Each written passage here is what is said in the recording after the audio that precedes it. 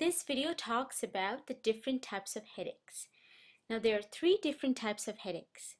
There is the migraine headache, the tension headache, and the cluster headache.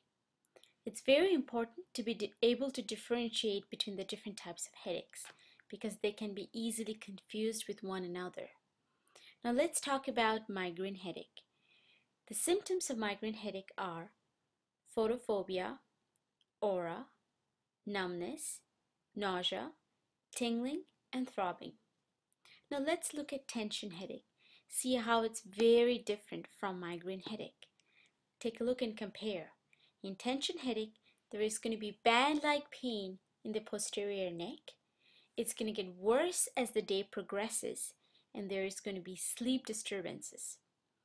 Now let's take a look at our cluster headache. See how that is even more different than migraine and tension. There is going to be unilateral orbital pain. There is going to be rhinorrhea, facial flushing, and they are going to be suicidal. Now those are the different types of headache. Let's talk, let's talk about drugs now. One of the most commonly prescribed drug that's out there for headaches is sumatriptan. The brand name for sumatriptan is Imitrex. Mechanism of action of sumatriptan is vasoconstriction. It vasoconstricts by agonizing 5-HT1D. It's a 5-HT1D agonist, and yes, that's important to know that it's 5-HT1D. Clinical use of sumatriptan are cluster headache, tension headaches, different types of headaches. Now, in which kind of patients can we not use this drug?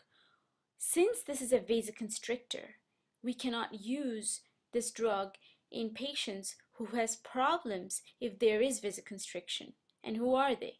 Those are the patients with coronary artery disease. Those have any kind of angina. If we give this drug to those patients, it's going to make their, their symptoms even worse. That's sumatriptan. Now there you have it, the different types of headaches.